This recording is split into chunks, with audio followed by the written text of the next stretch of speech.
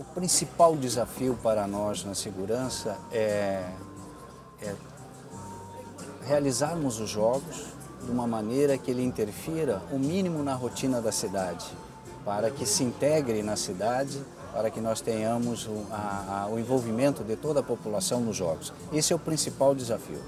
Esse acordo é muito importante porque ele nos traz o que a Interpol pode colher de melhor em todas as polícias do mundo em termos de proteção da integridade do, do esporte. Isso é, é, é muito importante para nós, principalmente com três anos de antecedência que nós estamos assinando. Isso permite que a Interpol acompanhe daqui para frente o nosso planejamento para agregar valor ao nosso esforço no Brasil. É compromisso do comitê organizador e do governo do Brasil fazer um, um, realizar os jogos com a, com a face do Brasil, ou seja, jogos memoráveis onde a alegria do povo, o envolvimento da população se faça sentir em todos que visitarem o Brasil, perceberão com certeza essa alegria do povo brasileiro e o rigor, a excelência técnica